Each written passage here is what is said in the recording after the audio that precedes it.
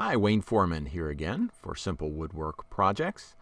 And today's video review is about my favorite website for finding do-it-yourself furniture plans. As you can see by your screen, the site today that we're going to look at is annawhite.com. What a great site this is. So Ana White is the owner of the site, obviously. She's a homeowner and a homemaker, a mother, lives in the middle of nowhere, Alaska, and loves to build furniture.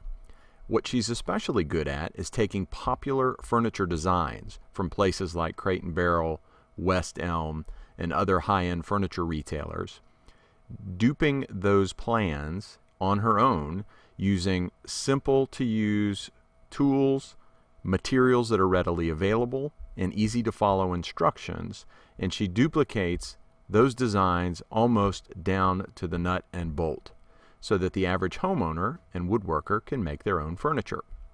This is a site that I personally use to build many, many pieces that are in our house.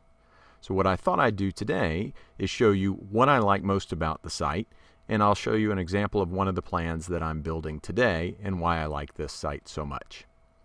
So first for navigation on this site, whenever you go to this page, it will likely look different as the front page looks different almost every day you go. But in general, the navigation stays the same. And the key places that I normally go is the plan catalog, which is right here. Or on the left side, you can go to specific categories or types of projects. So you see here is a bedroom project, here's a kids and toys project, a living room project, and so on or you can look for beginner woodworking projects, which are just that, very easy to build, don't require very many tools, simple materials, or intermediate, also easy to build, usually some advanced techniques, but not too advanced for the getting started woodworker. And then the place that I use most often is this search box up here on the right. So for today's example, I'll show you the bed, if I could spell bed correctly, the bed project that I'm building from here. So just a general search for beds, you can see that there are many, many bed designs available. So storage beds, toddler beds, simple beds, other kinds of beds. The one that I'm looking at today is called the farmhouse bed. And even within this set of plans, there are different versions. You'll see here, there's a fancy farmhouse bed plan. Let me move to the next page, and I will show you that there's a kind of classic farmhouse bed plan with an arch and headboard. That's this one.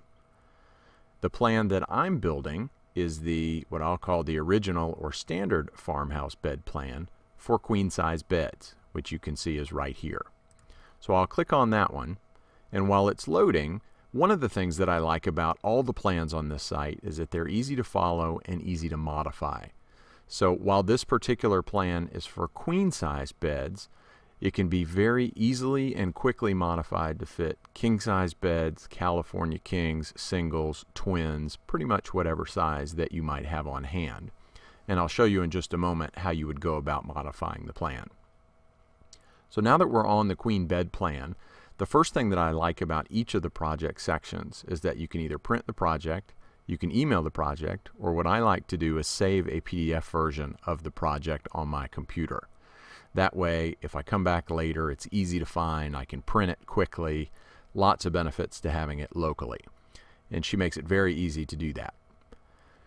Then you'll see the next thing that's important is a picture of the finished project so you know what you can expect when you're building.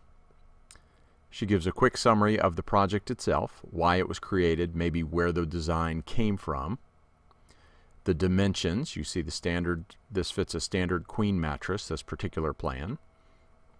Then there's a very nice material and tools section. So ahead of time you can buy all of the materials that you need and as you'll see they are standard dimensional lumber sizes that you can find at pretty much any home improvement store, woodworking shop, or even hardware store. You also see the screws, nails, fasteners, and paint that you need, plus any miscellaneous tools. So it comes down here and shows you need wood glue, wood filler, sandpaper, primer, paint, a paintbrush, and then it even tells you what tools that you need, and in some cases gives you some optional tools. Then it comes down to a very nice cut list. So once you've bought all of your material, you can quickly see what it takes to cut all the material correctly. She does a great job of designing the cut list so that you make the most out of every piece of lumber that you buy. There's very little waste. Then she explains how to cut. And then general instructions. This just says read through all the other farmhouse bed plans because there are different techniques that she incorporates in some of the other plans. I'll show you one of those in just a moment. Then we get into the design steps. So you see, here's building step one, and there's a nice picture used from that Google SketchUp program. It's a CAD CAM program that she uses to design. If you click on the picture, you get a little bit bigger version, so you can look at any details that you may need.